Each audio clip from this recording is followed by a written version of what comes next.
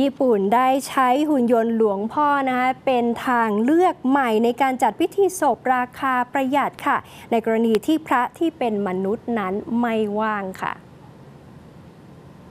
เปเปอร์หุ่นยนต์อเนกประสงค์นะคะซึ่งเป็นความร่วมมือระหว่างค่ายมือถือ SoftBank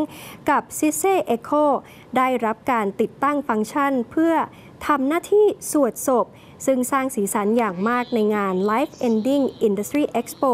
ในกรุงโตเกียว โดยปกติแล้วการจัดพิธีศพในญี่ปุ่นจะมีราคาสูงมากค่ะ อยู่ที่ราว 2,189 ดอลลาร์ แต่ถ้าใช้บริการหุ่นยนต์พระก็จะมีค่าใช้จ่ายเพียง 450 ดอลลาร์เท่านั้น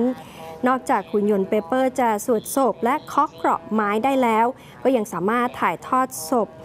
ถ่ายทอดสดนะคะ พิธีศพให้แก่ผู้ที่ไม่สามารถเข้าร่วมงานได้อีก แต่ว่าก็มีคนที่ไม่เห็นด้วย เพราะว่ามองว่าถ้ามันเข้าจะเข้าไม่ถึงจิตวิญญาณ และ